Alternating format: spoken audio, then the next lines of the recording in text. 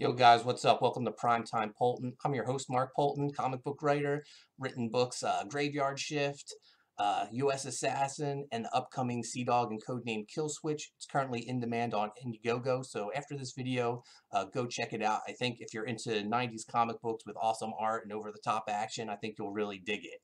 Um, today we're here for another $1 movie review.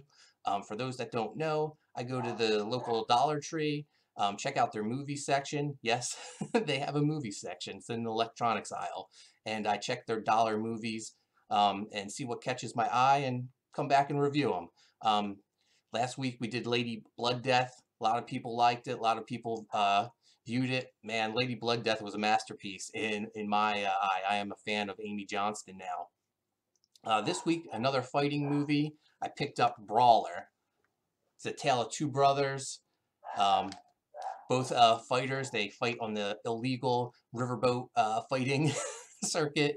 Um, takes place in New Orleans. Lots of jazz music.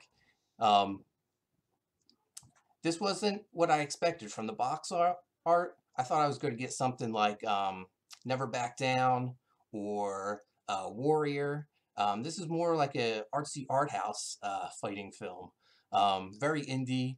Um, the it, sort of took a while to get for me to get into it because I think I was so disappointed that it wasn't what I was expecting.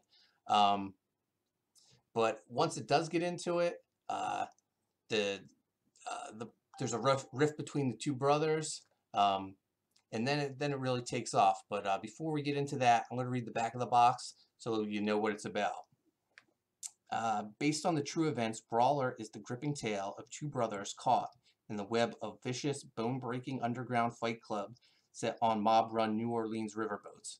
After a devastating personal betrayal, the once inseparable brothers go head-to-head -head in a fight to the death. So, you know, as you can see, uh, the two brothers um, come to conflict. Uh, the one, the older brother, is responsible. Um, he gets injured protecting his little brother from a mess that he gets in, and his fighting career is over.